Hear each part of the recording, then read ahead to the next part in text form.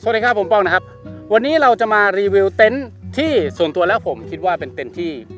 สวยมากๆเลยนะครับอากาศวันนี้ก็ร้อนมากๆเลยนะครับ เป็นวันที่เหมาะแก่การรีวิวเต็นท์มากนะครับ ตัวนี้คือเซนอาร์ตเซคุ M นะครับ ตัวนี้จะมี size M กับ size L นะครับ ความต่างคืออะไร L ใหญ่กว่า M เล็กกว่า แต่ถ้าใช้เป็นเต็นท์นะครับ อย่างบ้านผมเนี่ยมี สี่คนนะครับระวางเตียง 5 ฟุต 2 หลัง L ใช้ไม่ได้นะครับ เพราะว่าอินเนอร์ของ L เนี่ยจะเล็ก ถ้าเป็นอินเนอร์ของ M จะใหญ่กว่านะครับ เพราะฉะนั้นเรามาดูกันเลยว่ามีอะไรบ้างนะครับ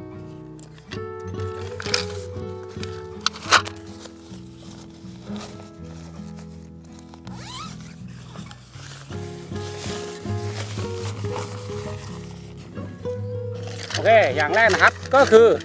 มี เสานะครับ มีเต็นท์นะอันนี้คือ inner อันนี้คือ inner นะครับ อันนี้คือเต็นท์อันนี้คือ ground sheet นะครับแล้วก็สมออยู่ที่ไหนสักแห่งในนี้ ไม่ต้องพูดพร่ำทำเพลงเยอะนะครับ อันนี้อะเดี๋ยวเรามากางกันเลย ผมเนี่ยใช้กาวชีตที่มาด้วยเนี่ยมันค่อนข้างบางนะครับ ผมใช้กาวชีตของ ฟลายชิดไทยใช้ของเขาประจำเลยเขาไม่ได้โฆษณาสปอนเซอร์ผมนะจ่ายเงินผมก็ดีอะไม่เป็นไรของเขาดีแหละอะนะครับอ,อันนี้นะครับมันบางไม่ค่อยแนะนำให้ใช้อยากใช้ก็ได้นะครับ แล้วที่สำคัญก็คือมันไม่เต็มพื้นเต็นท์ใช้แบบอย่างเงี้ยมันเต็มพื้นเต็นท์มากกว่านะครับ หรือเพื่อนๆคนไหนอยากจะกางแล้วก็ตัดเองก็ได้ครับไม่ไม่ได้ต่างกันนะโอเค เริ่มต้นก่อนเลยนะครับก็คือ ต้องตอกสมออันนี้ก่อนนะครับ โอเค เนื่องจากตัวนี้เป็นเต็นท์ที่เป็นลักษณะ shelter แล้วกันนะครับผมเรียกอย่างนี้แล้วกันนะ ก็คือจะใช้แบบไม่มี inner ก็ได้นะครับ เพราะฉะนั้นเนี่ยมันก็จะมีไอตัวสายสายอย่างเงี้ยนะครับ ที่เอาไว้แบบว่าให้รู้ว่าให้ให้ให้มันมีขึ้นโครงได้ให้มันขึ้นโครงได้นะครับ สิ่งสำคัญนะครับ หลักๆสำหรับการกลาง ตัวเซคูเอ็มเนี่ยมีอยู่ 2 ส่วนนะครับ ส่วนแรกก็คือนะครับ หา ด้านบนนะครับ นี่คือด้านในนี่ใช่ นี่คือด้านนอกโอเค เราหายอดนี่ก่อนนะครับ ที่ยอดเนี้ยจะมีด้านหนึ่งนะครับ ที่มีปล่องแบบนี้ ปล่องแบบนี้คือบริเวณ หน้าเต็นท์นะครับ เราก็กลางอยากให้หน้าเต็นท์อยู่ตรงไหนนะครับ เราก็เอาปล่องไว้ด้านหน้านะครับ ก็จะค่อยๆกลางก่อน แบบนี้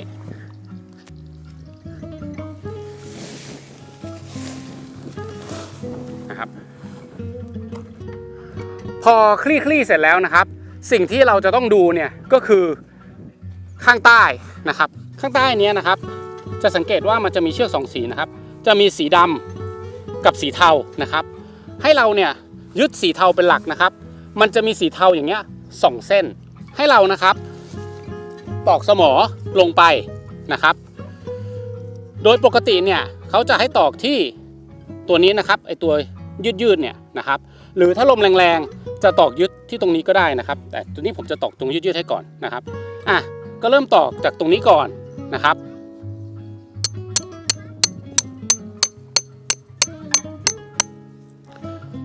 เสร็จแล้วนะครับ เราก็ดูนะครับ มันก็จะมีไอ้สีเทาๆอย่างเงี้ยนะครับ อีกนะครับ เราก็ยึดนะครับ ตรงที่ เป็นสีเทาแบบนี้นะครับ เนี่ยมันจะเป็นสี่เหลี่ยมเดี๋ยวผมเสร็จเลยอะจะทำให้ดูนี่นะครับ ตรงนี้ก็จะมีสีเทา เส้นสีดำของผมอันเนี้ยวิ่งไปทางนู้นก็เป็นสีเทาที่ผมเพิ่งตอกสมอไปนะครับ แล้วข้างใต้เนี้ยก็มีอีกอันหนึ่งนะครับ เราก็ทำการตอกสมอนะครับที่ตรงนี้ อย่างที่ผมบอกนะครับ ตอกตรงนี้ หรือถ้าลมแรงตอกตรงนี้ก็ได้นะครับ เพราะว่าไม่งั้นมันจะลอยนะครับ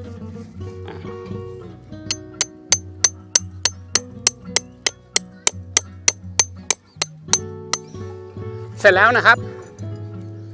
เราก็เดินมาฝั่งตรงข้ามนะครับ ก็จะมี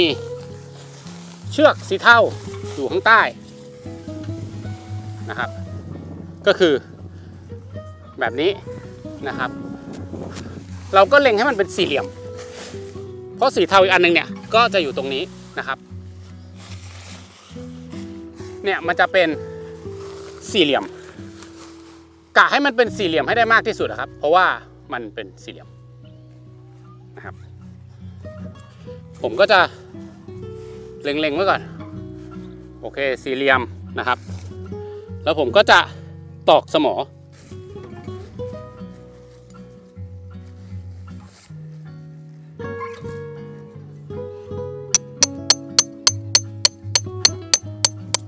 นี่นะครับพอดึง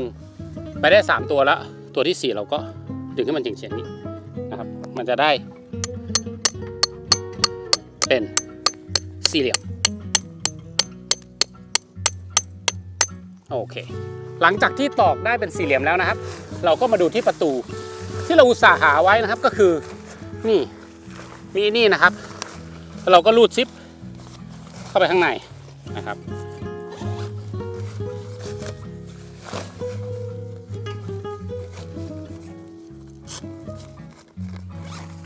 ร็จแล้วเราก็มาดูเสานะครับ ว่ามีให้อะไรมาบ้างนะครับ หลักๆเนี่ยก็จะมีเสาที่เป็นเสากลางนะครับ ก็สำหรับผมนะครับ มีเสาอะไรก็ประกอบให้หมดก่อนนะครับ อันนี้ไม่ต้องคิดเยอะนะครับ ก็จะมีด้านบนนะครับ ด้านบนก็จะมีคำว่าเซนอาร์ตเขียนอยู่ แล้วก็จะมีตัวเกี่ยวไฟนะครับเอาวางไว้ก่อน แล้วพวกนี้ก็จะเป็นเสาประกอบต่างๆนะครับ เดี๋ยวเราประกอบแล้วเราก็ไปใส่ที่ประตู แต่ว่าคันเนี้ยเดี๋ยวเรา ไปใส่นี่ก่อน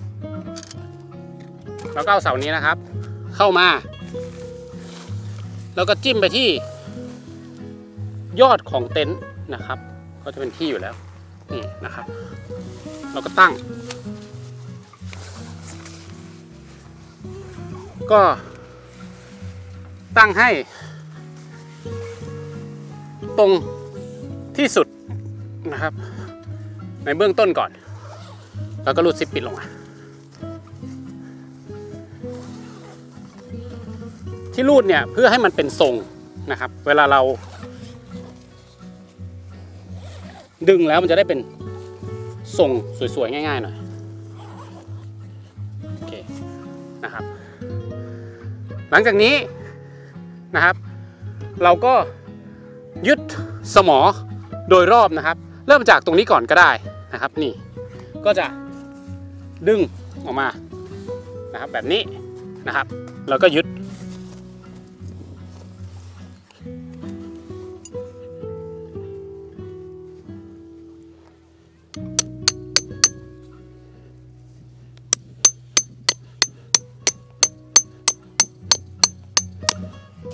ซึ่งสำหรับจุดตอกสมอหลักแล้วกันนะ ผมเรียกว่าอย่างนี้นะ จะมีทั้งหมด 6 จุดนะครับ ก็คือจุดที่ทำให้เป็นสี่เหลี่ยม 4 จุดนะครับ แล้วก็จะมีตัวนี้ที่ดึงออกมาอีก 2 จุดนะครับ ก็จะเป็นหกเหลี่ยม ก็คือเต็นท์ตัวนี้เป็นเต็นท์หกเหลี่ยมนั่นเองนะครับ เสร็จแล้วเราก็มาประกอบนี่เสาของประตูนะครับเสาของประตู เราก็อย่างที่ผมบอกนะครับ ทุกเต็นท์นะครับ มีกี่อันเราก็อันนี้ไว้หมดเลย ต่อให้เม็ดหมดนะครับ แล้วเราก็มา เสียบเข้าที่ตรงนี้นี่นะครับก็เสียบเข้าในนี้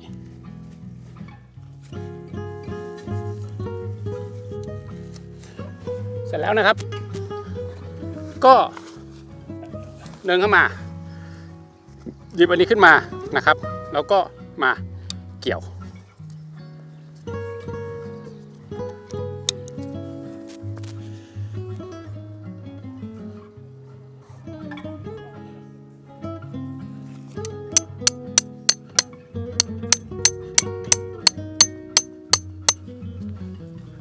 แล้วก็รูดให้ตึงนะครับ เสร็จแล้วก็เอาตัวเกี่ยวเนี่ย เกี่ยว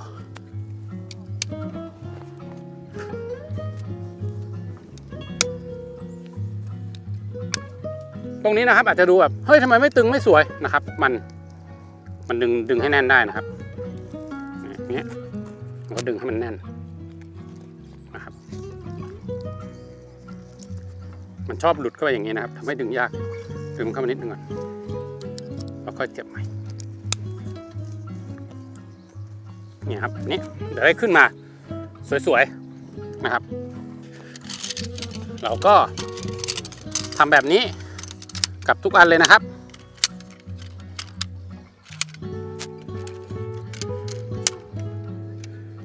นี่นะครับเราก็เสียบไปทั้ง 3 ประตูนะครับ จะมีอยู่ 3 ประตูนี่ครับ เยอะแล้วก็เสียบชุดเข้าไป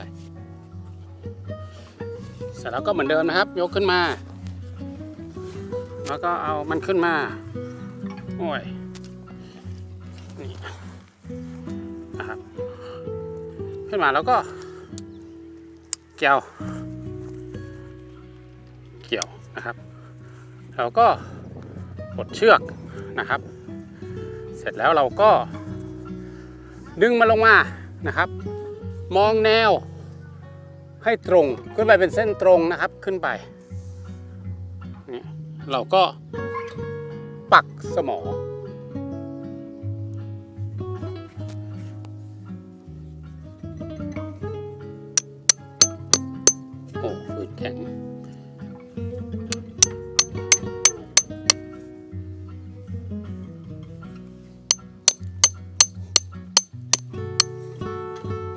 ก็ให้ตึงแล้วก็อย่างที่บอกนะครับ ถ้านี้มันรูดเข้าไปลึกก็ถอดมันคืนนิดนึง จะได้ดึงได้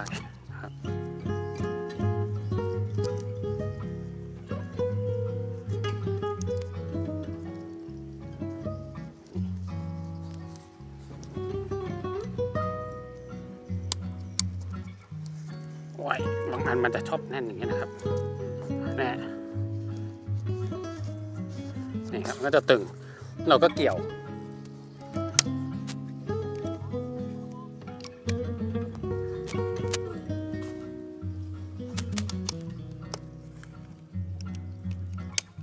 เสร็จแล้วนะครับเราก็มาดึงในส่วนที่เหลือ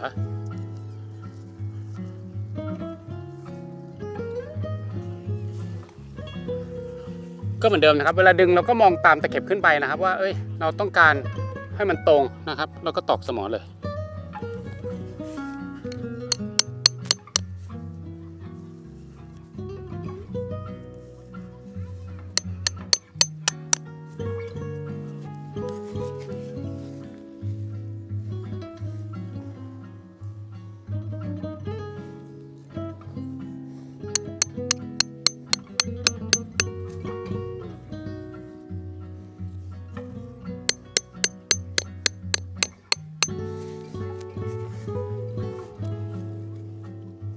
ประมาณนี้นะครับ ยึดสมอทุกตัวเรียบร้อยแล้วนะครับ แต่เอ๊ะทำไมเราไม่ยึดอันนี้ล่ะ นี่อย่างนี้นะครับ เพราะว่าอันนี้คือประตูนะครับ เราจะ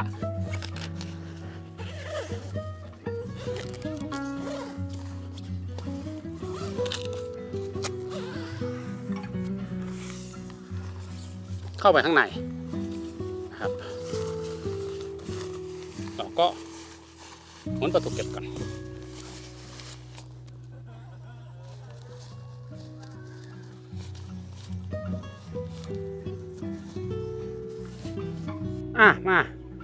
เดินดูรอบๆก่อน อย่างที่บอกนะครับสำหรับผมเนี่ยเต็นท์หลังนี้เป็นเต็นท์ที่สวยมากๆเลยแหละ คือแบบออกแบบมาดีมันแบบมันมีแบบยกประตู มันมียกด้านข้างอะไรอย่างเงี้ยนะกลางก็ไม่ยากนะครับ จริง ๆแล้วเนี่ยนี่กลาง ไม่นานไม่นานครับอะเข้าไปดูข้างในกันนะครับ ก่อนที่ผมจะปูอินเนอร์มาเหมือนเดิมนะครับ ข้างในพื้นที่กว้างใหญ่มากอะผมบอกเลยว่าใหญ่อะนะครับ สูงนะครับเอื้อมมือไม่สุดอะนะครับ ข้างบนอะสูงสูงนะครับ แล้วก็ใหญ่นะครับ เดี๋ยวผมเอาอาอยากให้เห็นว่าว่ามันใหญ่จริงนะเต็นท์ที่ใหญ่แล้วก็สวยอะ สำหรับการกาง inner นะครับข้อแนะนำสำหรับผม ก็คือให้กางก่อนนะครับ จะเป็นแบบปลายชิดไทยที่เป็นเต็มพื้นหรือว่าเป็นแบบของมันเองก็ได้นะครับ ก็คือกางครึ่งหนึ่งก่อนนะครับแล้วค่อยเอาเสาออก เพราะว่ามันสามารถที่จะเอาเสาออกได้นะครับ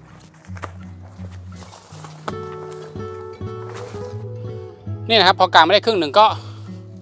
เอาเสาออกโอ้จะสังเกตว่า เอาเสาออกก็ยังล้มไม่หมดนะครับ เพราะว่ามันมีเสาสามอันนี้อยู่นะครับ แล้วเราก็เข้าไปจัดต่อ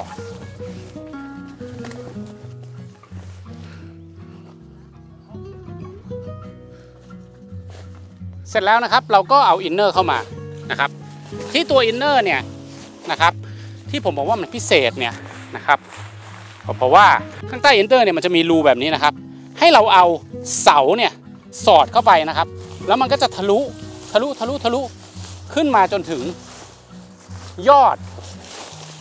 ของตัวอินเนอร์นะครับเราก็ปักเสียบเข้าไปในไอ้ตรงนั้นนั่นแหละ คือแบบนี้เลยนะครับอ่าอันนั้นแหละ แต่ก่อนจะทำอย่างนั้น เดี๋ยวเรามาจัดพื้นที่ก่อน วิธีที่ง่ายที่สุดสำหรับผมนะครับก็คือ เราเอาพื้นน่ะนะครับ ปูก่อนนะครับ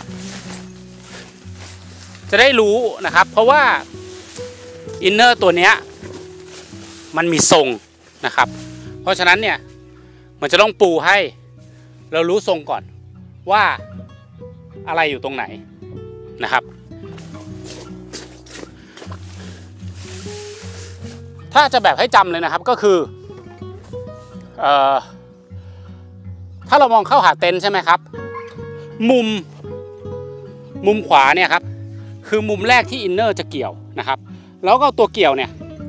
เกี่ยวเข้ากับตัวที่มันมีให้เกี่ยว เกี่ยวแบบนี้นะครับ ตัวเนี้ยปลดไว้หลวมๆก่อนได้นะครับ เราเกี่ยวก่อนนะครับ เสร็จแล้วก็ไล่เกี่ยวไปรอบๆเลยนะครับ ถ้าเกิดมันทำให้เราเข้าถึงยาก เราก็เปิดซิปนะครับ จะได้มองเห็นง่าย ๆหน่อยนะครับแล้วเราก็ดึงมา แล้วก็เกี่ยวนี่ครับดึงมาแล้วก็เกี่ยวแบบนี้ เสร็จแล้วนะครับเราก็ เกี่ยวพวกตัวด้านข้างนี้ด้วยนะนี่นะครับเกี่ยวแบบนี้ เสร็จแล้วนะครับ เสร็จแล้วนะครับ เราก็เอาอันเนี้ยกลับเข้าไป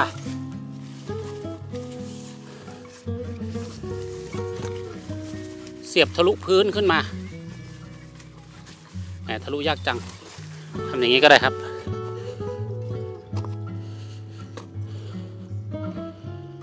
นี่ครับเอาเข้าไปในนี้ก่อนนะครับ แล้วก็ จิ้ม ยอดนี้นะครับ ไปใส่กับยอดของเต็นท์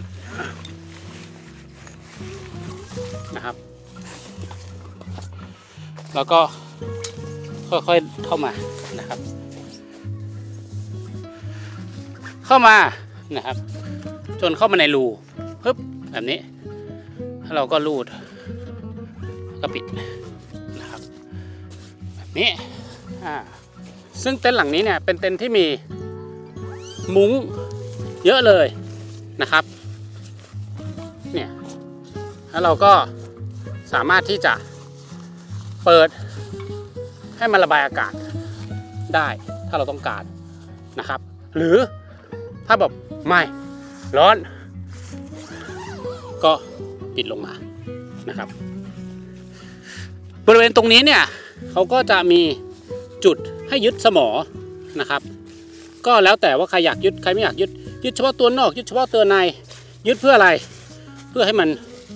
สวยนะครับเวลาลมมามันก็จะไม่กระพืออะไรอย่างเงี้ยนะครับ อืมแต่ว่าโดยปกติการใช้งานนะครับ ไม่จำเป็นต้องยึดนะครับถ้าอยากให้สวยก็เหมือนกันเนี่ยครับ ก็ยึด สมอตรงนี้ แต่ผมว่าเสียเวลาอย่าเลย ก็ประมาณนี้นะครับสำหรับเต็นท์หลังนี้นะครับ Zane Arts Zeku-M เป็นเต็นท์ที่สวยนะครับ ผมว่าสู้ลมแน่นอนนะครับเขามีจุดรั้งเชือกแบบ เยอะมากมายมหาศาลนะครับ แต่จริง ๆ เราไม่จำเป็นจะต้องรั้งทั้งหมดอยู่แล้วนะครับ พวกนี้นะครับ แล้วก็ถ้าเกิดอยู่แบบ ไม่ใช้แอร์นะครับ ก็สามารถเปิดได้รอบเลยนะครับ หรือจะอยู่เป็น shelter ก็ทำได้เช่นเดียวกันนะครับ อยู่แบบ shelter ก็ไม่ต้องใส่ inner แต่ inner เนี่ยมีขนาดใหญ่ผมขออนุญาตไม่เข้าไปข้างในให้ดูนะครับเพราะว่าวันนี้มันร้อนมาก แต่ผมบอกได้เลยครับว่า เตียง 5 ฟุตของผมอะลงได้ 2 เตียง สบายๆ ไม่มีปัญหาเลย ข้างในเนี่ยใหญ่นะครับ ระบายอากาศดี ยึดดี ดีอะเออ ดีทุกอย่างนะครับ ก็ประมาณนี้นะครับสำหรับเต้นหลังนี้ ใครมีคำถามดรอปไว้ในคอมเมนต์นะครับ แล้วเดี๋ยวผมรีบเข้ามาตอบให้สำหรับวันนี้ก็ขอตัวลาไปก่อนครับ สวัสดีครับ